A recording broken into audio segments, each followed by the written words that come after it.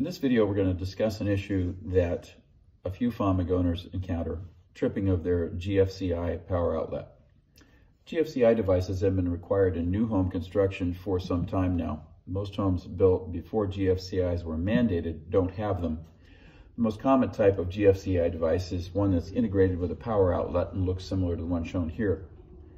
Famag mixers are made in Italy and they're certified to meet strict European electrical safety standards like other home appliances that are made in Europe and sold and used in the US.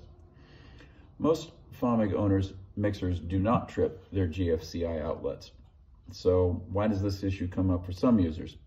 Famag explains that the issue is not a defect but an incompatibility between the GFCI installations in some homes and the VFD or variable frequency drive circuitry of the Famag mixer. We've shipped mixers that have tripped customers' GFCIs back to us at Pleasant Hill Grain. We've then operated those mixers on multiple different GFCI equipped circuits and they've never tripped any GFCI we've tried them on.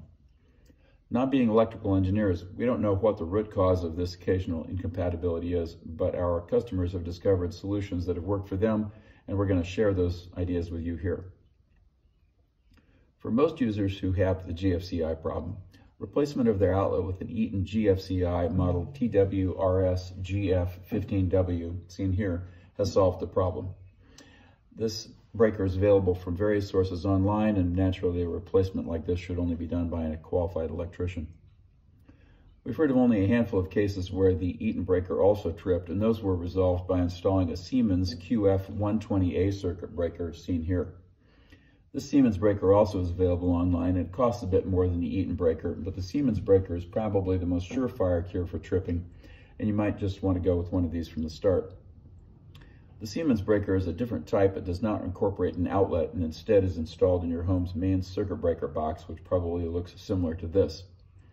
Again, this installation is something that should only be done by a qualified electrician, and if your old GFCI was the type that was built into an outlet, that old one would need to be replaced with a standard outlet so that your GFCI protection for the circuit is supplied only by the new Siemens breaker.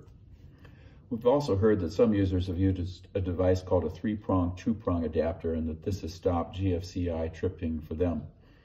These adapters simply plug in between the appliance and the outlet. They cost just a couple of dollars and they're available all over online or at any hardware store.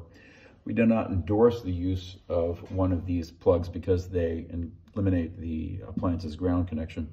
They are used very commonly though, and use of one of these plugs would not void your mixer's warranty. Our customers have been very pleased with their Famag spiral dome mixers and the extraordinary baking results they achieve with them. If you have any questions before or after purchase, please contact us by email or phone.